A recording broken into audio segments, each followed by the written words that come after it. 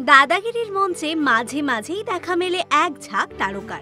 তারকাদের জীবনের গল্প শোনার জন্য উদ্গ্রীব হয়ে থাকেন অনেকেই। টলিপাড়ায় এখন বেশ জনপ্রিয়তা অর্জন করেছেন অনির্বাণ চক্রবর্তী।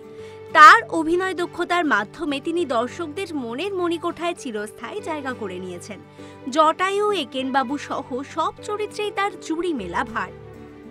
সম্প্রতি প্রধান ছবিতে তার অভিনয় দক্ষতা বিশেষভাবে প্রশংসিত হয়েছে। সম্প্রতি দাদাগিরির মঞ্চে এসে দাদার কাছে নিজের জীবনের গল্প শোনালেন অনির্বাণ। প্রফেসর ছিলেন অভিনেতা। চতুর্থ শ্রেণীতে পড়াকালীন থিয়েটারের মাধ্যমে অভিনয় জীবন শুরু করেন তিনি।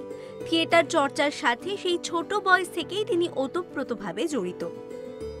দু সালে তিনি মঞ্চের বাইরে অভিনয় করার সিদ্ধান্ত নেন। অভিনেতা বলেছেন, তখন আমি থিয়েটার করব বলেই পেশা পরিবর্তন করেছিলাম।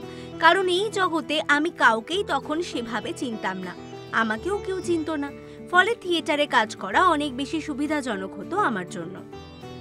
সৌরভকে অনির্বাণ জিজ্ঞেস করেন, আমাদের তো অভিনয় করতে হয়, তার জন্য একটা স্ক্রিপ্টও পাই। আপনাকে জীবনে এমন কোনো সিচুয়েশন থেকে বেরোতে খুব বড় অভিনয় করতে হয়েছে? উত্তরে সৌরভ বলেন, বাড়িতে তো কখনোই অভিনয় করতে হয় না, কারণ ওই জন্যই ওটা বাড়ি।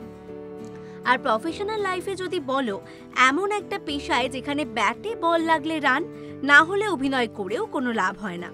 তবে লোককে না বলতে হয় অনেক সময়। মানুষের হয়তো পছন্দ হয় না বিভিন্ন সময়। তবে কিছু করার নেই। আমি এক্ষেত্রে সৎ। এরকমই আরও ভিডিও পেতে নজর রাখুন আমাদের চ্যানেলে আর পাশে থাকা বেল আইকনটি ক্লিক করতে ভুলবেন না।